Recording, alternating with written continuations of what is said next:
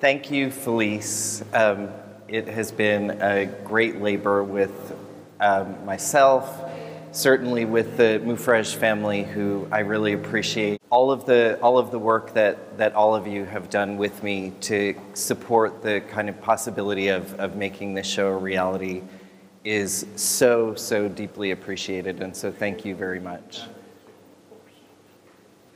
Um, also, a, a, big thanks to, to Felice, to my other colleagues here at the Contemporary Arts Museum, and to our supporters um, for doing the, all the legwork and all the behind the scenes things that happen in order to pull an exhibition like this together. Um, it's also exciting to have my colleague Larissa Harris here, who is a curator from Queens Museum in New York. The exhibition will travel um, this in about a year from now um, to Queens Museum. So that's a, a really exciting thing. Um, I will kind of start off just by giving you a little bit of background. How I came to the work um, is that I had visited an exhibition at the Grey Art Gallery at New York University in 2006 called The Downtown Show. It included work by a lot of artists who were active doing performance, doing sculpture, video, photography, dance, um, in the East Village and downtown Manhattan. Um, I'm a bit of a research junkie, I suppose, and so I often will kind of look at announcements for exhibitions by folks who are maybe better known individuals who like David Wojnarowicz or Keith Haring, who were all colleagues and, and contemporaries of Nicolas's and kind of start to do research about individuals. You know, when you look at a show where Keith Haring is one artist among 14 or 17 other people, it's really fun for me to kind of go back and, and start to look at okay, who are all of these artists? Who are their contemporaries? And who are the people that we, we might not remember as well? Um, that was certainly the case for me seeing Nicolas's work when I saw it in the, in the Grey Art Gallery at NYU. He was not someone who was familiar to me at that point. And what I did was started to kind of research one of the very first things that I found, and probably one of the most important, was that I saw an, an obituary that was written by Roberta Smith in the New York Times when Nicolas passed in 1985. As a, it was a beautifully written um, obituary that kind of talked about his importance to the community, his activities, but also really recognized not only the writing that he was doing at the time, because he was indeed well known to many people who were active in New York as a writer and critic, um, but also a, a deep appreciation of the art that he was making. It also was not lost on me that you don't just get a write up like that in the New York Times by their head art critic. Um, so that felt like something really important.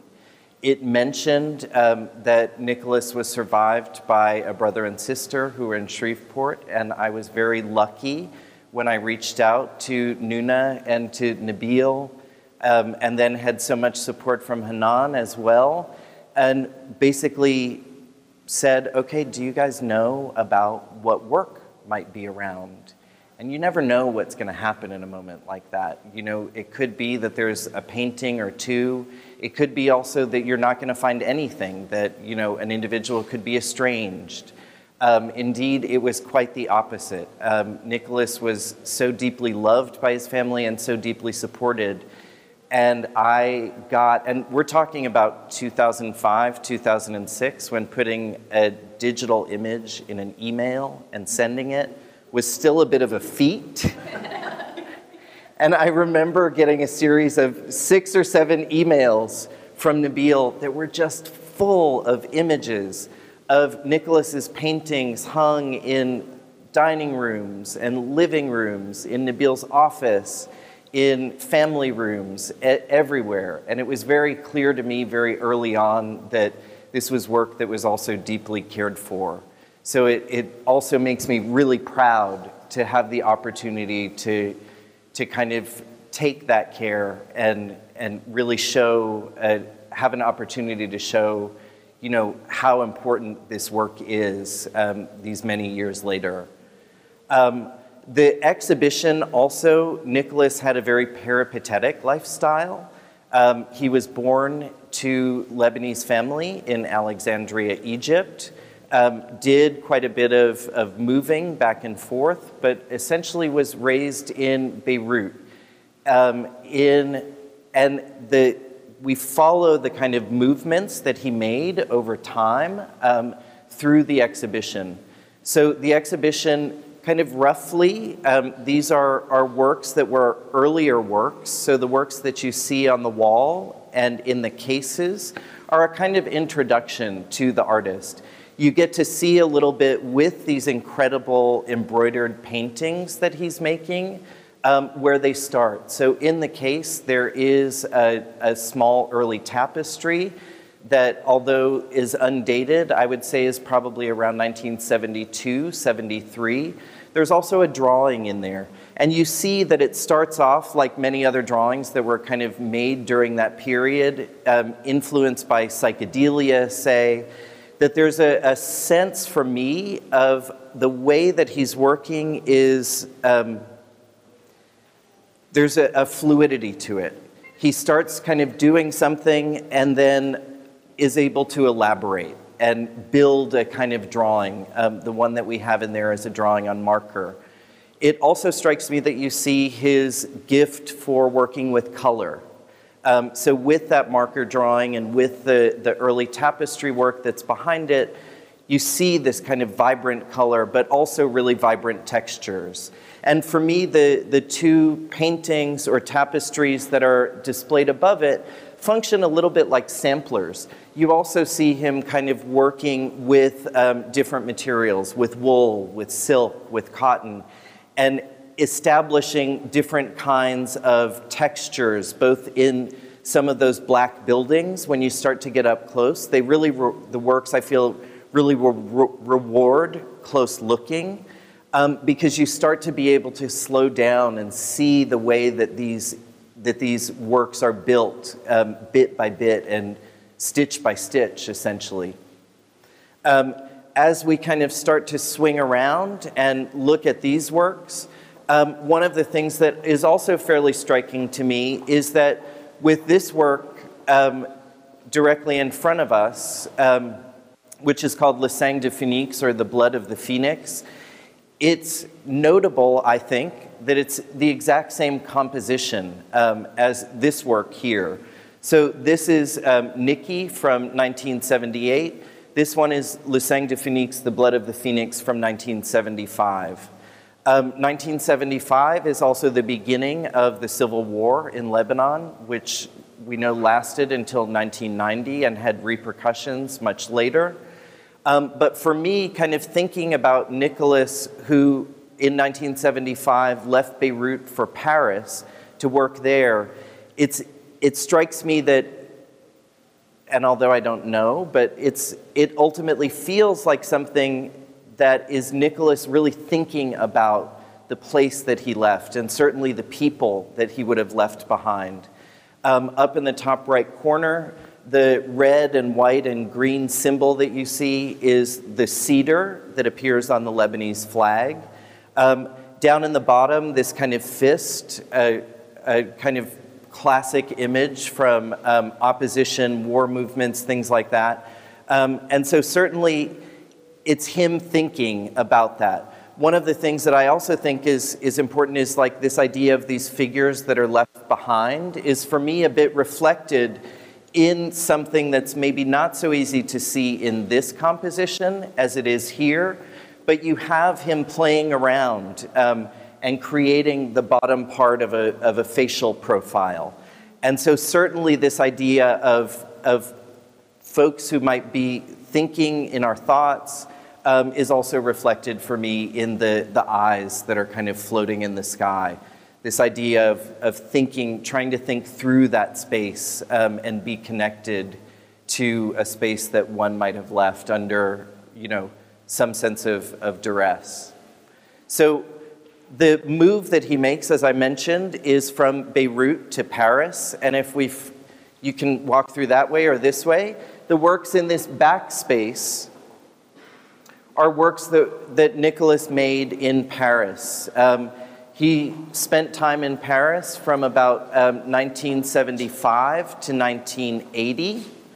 Um, and what interests me, um, and what I think is particularly important about this work, is that in um, during the time that Nicolas is in Paris, is the first time that I've found in his notes he begins referring to the work that he's making as paintings. Um, I think it's significant because I think what he's doing is looking at European painting traditions. And so, certainly, you have figures um, like this Laocoon figure um, or others um, that are coming from um, prints, classical prints um, by folks like Marcello Manelli here. Um, there are others, references to um, works by Claude Lorrain, a number of European artists. But then what he's doing that I think is also particularly interesting is combining those with references that would have not been so familiar to European painting audiences. And so the, the patterning that comes from Islamic tile work design, also other symbols that are coming from a broad variety of religious and cultural um, backgrounds. So you see, um, like next to this figure here, um, this kind of papyrus, which comes out of Egyptian artworks. The two lions that you see in the, in the top of that work are Syrian. Um, the figures, though, the, the small house and tree come out of a painting by Claude Lorrain. Um, the figure here is from um, Antonio Raimondi. So it's combining these kind of different traditions. Um, it's also, you know, we see the, the alpha and the omega appear quite, quite often. Um, over here, we have the alpha, the omega, the aleph, Someone told me last night that they think that this K looking letter down at the bottom is actually an Etruscan A.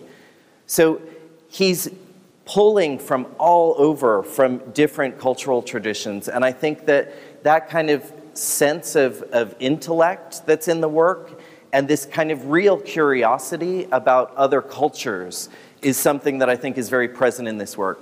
I think the other thing that's pretty significant is that we also never see, or rarely, um, at, and at least in all of the, the images that we have here, you don't see the faces of these figures. They're always bodies that are turned away from us. We're seeing them from the back. Um, there are the one or two in which you do see faces. We just don't have them exhibited here. But that for me is also this kind of figure on the, on the brink of something, um, always kind of looking in at these fantastic landscapes, at new places, new lands, but being on that border. And certainly, as somebody who is going to Paris, moving to a new place, like we all have that experience of being in a new place and kind of feeling a bit tentative, feeling about, you know, trying to figure out how do you fit into this place. And for me, these figures are really representative of, of that sense of kind of trying to step into a, a new realm and kind of f- find one's footing in, in those new places. Um, it's also, I think, you know, when you start to look closer at some of these, some really great things happen. You start to see, um, it's significant for me that in Paris, um, the scale of the work increases a great deal. I think it, that is certainly for me a reference to kind of European painting traditions and easel painting traditions. Um, but you also see that what he's doing is stretching an embroidery canvas. Um, so, not a, a traditional painting substrate over these stretcher bars. And it enables a kind of um, transparency to happen um, so, like on this one, it's a really great moment, and you can take a chance to look at it closer, where you start to see the shadows on the wall of the figure, and it's almost like it looks like a, an X ray or something. Um, it's like it gives the figures a, a, sense of volume that I think is really important, um, and that's, that's a really incredible thing to see. It's also really fun to see how um, Nicolas was really playing. So over here, um, in this case, You see some um, Xeroxes that he had made, that he made some line drawings atop of, very similar to the way that he elaborates the figures then um, with chain stitching around the, around the, the paintings of the figures that are on the canvases.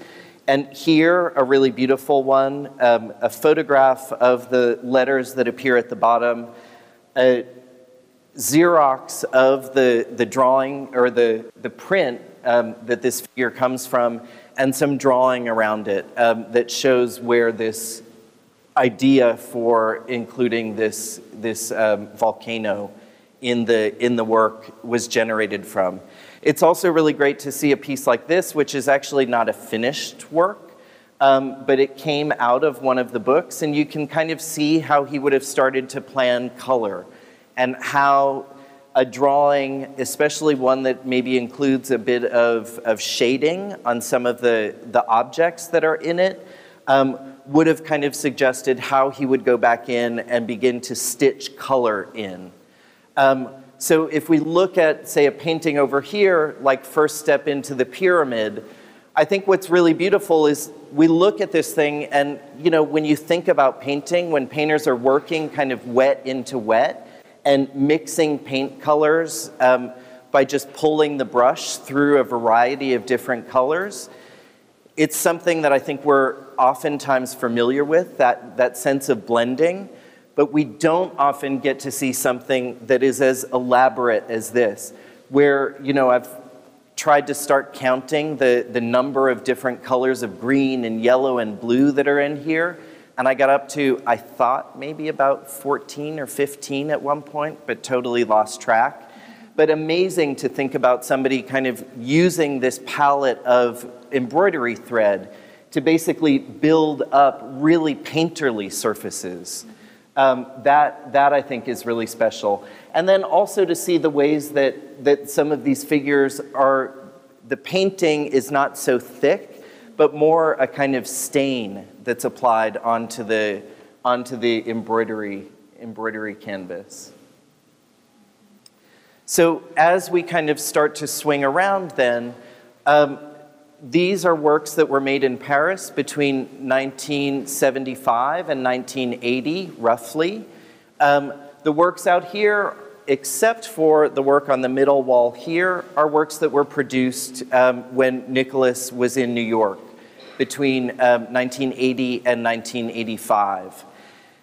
And if we kind of begin to imagine um, that Nicolas was borrowing things from other figures, from other prints and paintings, um, kind of quote, making quotations of things that were coming out of European painting traditions, one of the things that's also important for us to kind of remember historically is that the moment that he gets to New York in 1980, there's a movement called appropriation and this was artists kind of taking things from other artists, borrowing them, but oftentimes kind of even just making direct copies of things.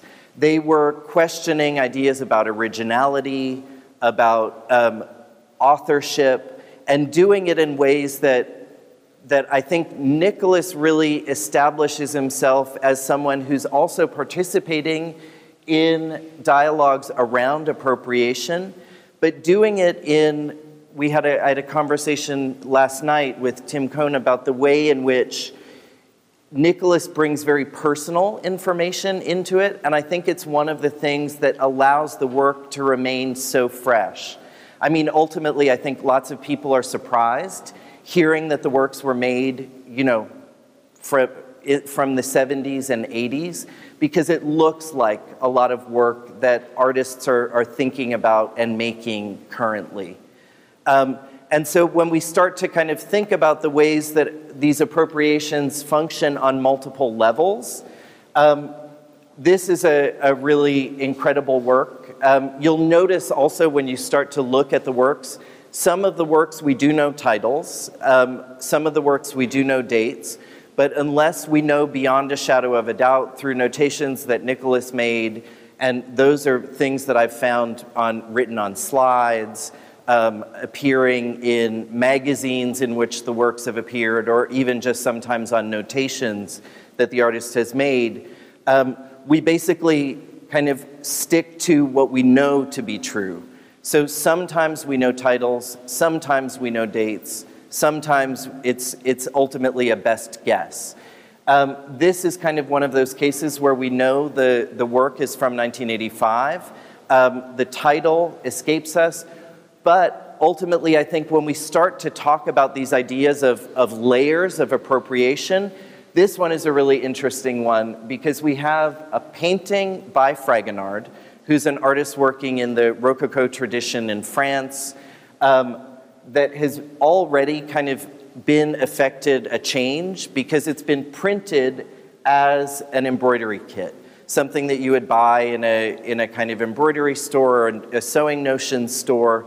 Um, it includes a, a kind of series of different colors of embroidery thread that you would need to purchase in order to kind of finish sewing this work.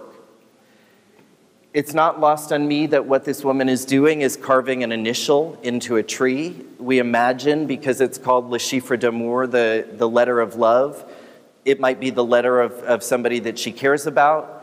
So interesting to see that, but then very interesting to see that what Nicolas does is to actually put his name over top of it, sewing it directly. So it's almost as though he's kind of tagged the Fragonard painting in a way.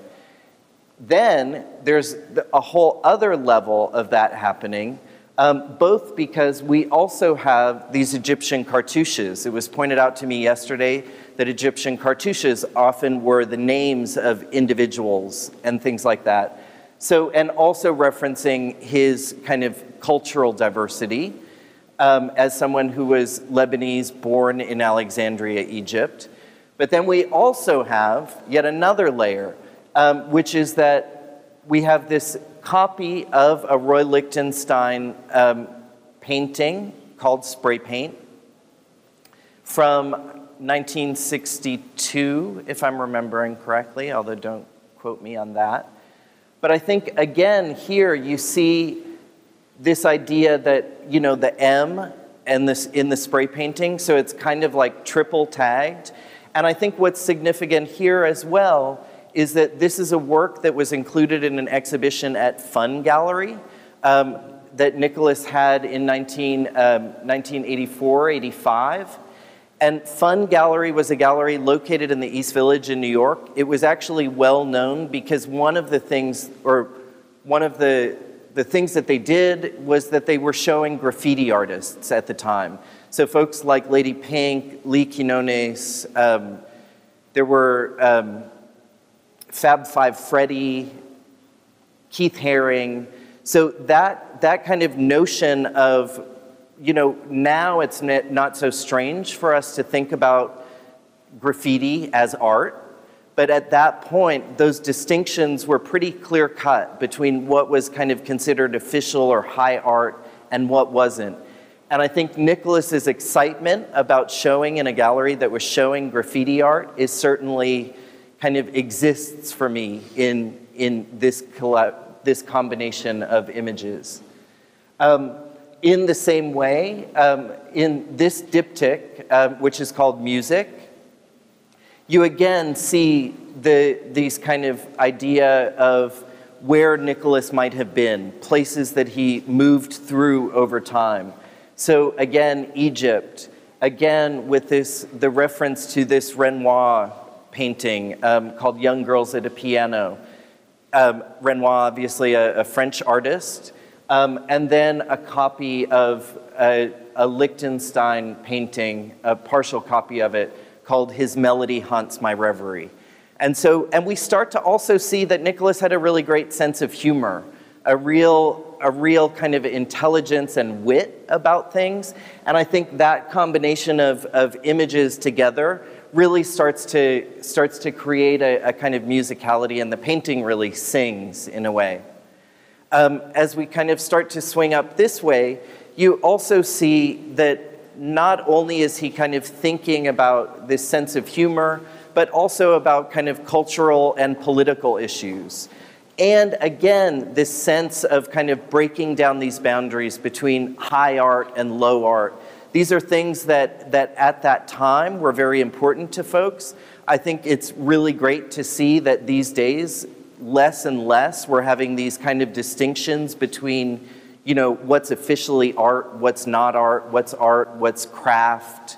It's nice to see those boundaries breaking down, but certainly at the time Nicolas was making this work, it would have been really challenging for a lot of folks to see somebody making these works in embroidery, which would have already had a kind of connotation of not being high art.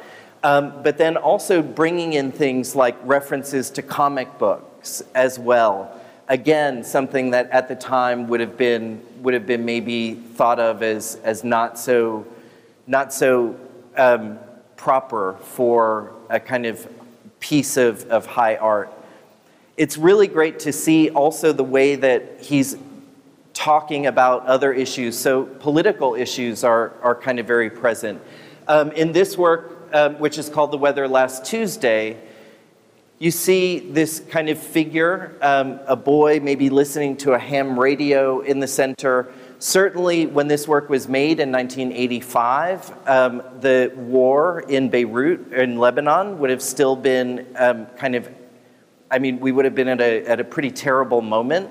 And so this sense of kind of how do you how do you listen? How do you know what's going on with family, with friends, with folks that one is is caring about from far away, listening to the radio, trying to tune in and maybe hear stories. Um, and indeed, I think Nuna and Nabil have talked about how difficult it had been to kind of be in contact um, via telephone or other ways with family to know what was happening to people who were there. But then you also see some kind of clear references to the war. Um, Picasso's Guernica is quoted in here. Picasso's Guernica being uh, one of the kind of most famous anti war paintings by Picasso, made, I believe, in 1937. Thank you. Um, but then you also see some other figures that I think are maybe a little bit more surprising. So, Spider Man is, for me, a kind of clear stand in, a self portrait figure that represents Nicolas.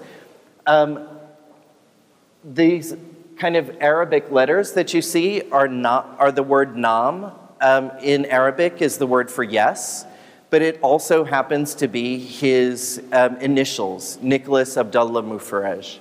And so you often see kind of Spider Man swinging in on the tail end of that calligraphy.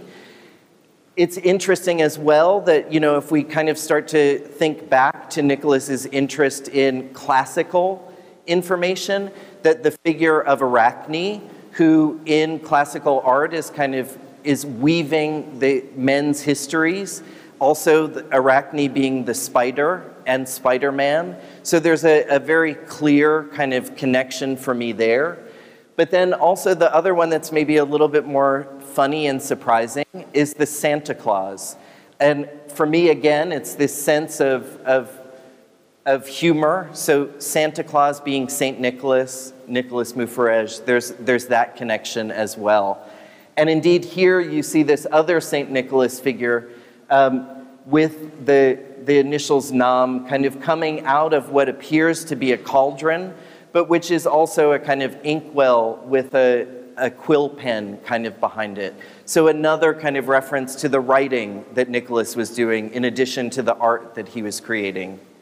Um, here, I think, is probably one of my kind of favorite moments. You also see the initials NAM appearing again, this time connected to the torch of the Statue of Liberty, um, and then just a really great moment this Spider Man in a hall of mirrors, so being reflected over and over again, and the, the Santa Claus or St. Nicholas um, being reflected in that mirror. I think also one of the things that's important to kind of think about is the materiality and the physicality of these works. Um, at the time, I think a lot of work that was being done in appropriation was a bit more austere a bit more kind of stripped down, a bit more minimal. And so the appearance of this kind of glitter, or indeed even of, of brooches um, and costume jewelry that are being pinned to the surfaces, are also really significant. Things that would have kind of stood out, but things that also in their way fit in. when we're thinking about the East Village in the 1980s and what artists and folks there were doing, people were getting dressed up and wanting to kind of like give themselves a little glitter and glamour in order to kind of, you know, go out. And there are great pictures of, of Nicolas, you know, with beautiful brooches kind of pinned onto blazers that he was wearing, looking like very handsome and turned out. Um, and it was also beautiful to see a collection of those brooches that the family wore last night. Um, but these kind of things, you know, in the moment that they were happening, were, I think, would have really stood out and kind of maybe pushed people into a into a, a place that might not have been so comfortable at least artistically, but I think that those kind of challenges are the really productive challenges that allow this work to kind of remain so fresh for us today. I think then if we kind of look at the, at the back wall here, um, these are a series of, of works that all quote Roy Lichtenstein, who is an artist that was very important to Nicolas. Um, these are actually some of Nicolas's books, um, some Roy Lichtenstein books, some copies that, that Nicolas would have made from actually some of these books that you'll see if you look at them that they appear in other areas. Um, the only thing that is not Nicolas's in here is a postcard, but I'll get to that when I kind of describe some of the works. And so I think, you know, what we see here is when we think about appropriation um, and when we think about an artist like Lichtenstein, Lichtenstein is already copying somebody else. So, what he's doing is taking things that he's finding in comic books or indeed Disney comics, um, like appears in, in one of the works over there, um, and reproducing them again. So you're looking at things like, oh, Jeff, I love you too, but that clearly comes out of a comic book. And so we have Lichtenstein taking that comic and then kind of giving it another layer by just repainting it.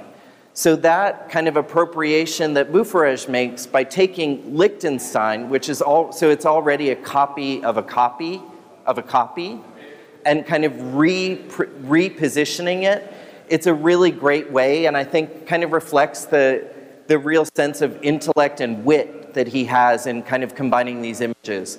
There is, for me, also a, a real sense of, of emotion that he's able to imbue in the images. And so you have a figure like this um, that, that comes from a Lichtenstein painting from 1963 or 64. I don't care, I'd rather sink than call Brad for help. So copying that, but then also adding in this, um, this wave that comes from a ukiyo-e woodblock print by the artist Hokusai that was from Japan, from a series that he made called 53 Views of Mount Fuji, that include these real stylized waves. And so, this idea that already, which is a kind of pretty emotional thing, this woman kind of sinking, perhaps getting ready to drown, and this wave kind of coming in, ready to deliver the, the coup de grace that maybe kind of sinks her, is something that for me is, is poignant in this work. It's also important to think about the fact that he, what he's doing already is kind of mixing Eastern and Western traditions there, um, mixing kind of layers of things, mixing a kind of modern artwork with something that's quite a bit more historical. Hokusai would have made those in the 18, 18 yeah, late 1700s, early 1800s. Um, and then other works that kind of appear in them. Um, the Edvard Munch's The Scream, which many of you will be familiar with because it's also been reproduced all over the place, although I can't say that I've ever actually seen the real work myself. Um, on the, the painting in the middle juxtaposes a Lichtenstein with an Andy Warhol paint by numbers. So again, Warhol kind of already appropriating a paint by numbers and these multiple layers of appropriation, layering these things up. We should also say that the, the layering and the structure of these is also another reference to another artist, um, Mondrian, who many of you will know um, for his kind of stripped back red, black, and blue kind of gridded compositions. Um, there are some actually that are up right now at the, in the Menil collection, which is a, a great thing to see. Um, but then we have another kind of appropriation here. So this black and white image that appeared in this catalog, it was um, something that Nicolas probably would have received from Cast- it's, there's a, a, sticker on the back from Leo Castelli Gallery. So this would have been something that, as somebody who is writing for press, he would have got from the gallery, kind of as a, as a you know, something that a magazine or newspaper might consider reproducing. But again, here we have these multiple layers of the way that the image has been mediated. So you have Lichtenstein copying a Mondrian painting um, Lichtenstein's painting itself is actually a, a full color painting, so blue and red and white and black. But then the gallery kind of photographing it and making it black and white to be able to kind of distribute for press purposes. And so all of these things, kind of thinking about these layers of, of the way that these objects are structured and the layers of kind of places where these images have come from is really, is really important. Um, the thing that I mentioned, the postcard that's in there, is um, which appears in the bottom corner, is a work by Yves Klein. Um, Klein's work actually also is in the Menil collection. Um, some of you may have seen it before the Menil closed um, for their, their new reinstall and reopening. That work actually had been hanging in their galleries for a while. And what Klein was doing um, at the time was these pieces where he would paint women's bodies in a color that he had called International Klein Blue. It was his kind of official cobalt that he used almost as a, a signature of his own. He would paint them, have them lay down on canvas almost to make a print of their bodies, and then spray paint around them with the same blue pigment. Um, and so you see here the, the image of that painting, which, as you can imagine, is quite large because it's seven people kind of laying across a canvas. It's also really interesting to see here again to kind of just point out one of the material issues that some of these, um, the stitches that, that are in here go horizontal, others go vertical, and so it makes it seem as though they're two different colors of purple but indeed it's just kind of one color. And if you start to move around a little bit, it shows you that it's actually um, part of his facility with the materials and, and making, those, making those jumps. And then the, the last work here, I think, is also significant for me. It includes a, self, a piece by um, Lichtenstein called Self Portrait. Um, so his self portrait is just a, a painting of a t shirt with a mirror above it. And it's a, it's a kind of roughly rendered mirror.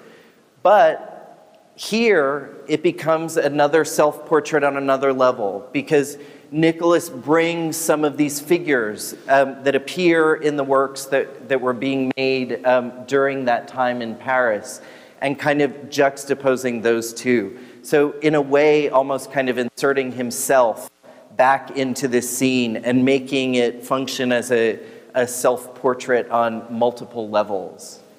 Um, it's also really great to see with works like this, like the, the transparency that I was talking about and the way that the, that the figure kind of casts a shadow onto the back wall kind of doubles the, the idea of the figure yet again in a physical and not just metaphorical way. Um, I don't know if folks have any questions about any of the any of the work. It's also really great that we have the family here. They know probably as much, if not more, than I do. Um,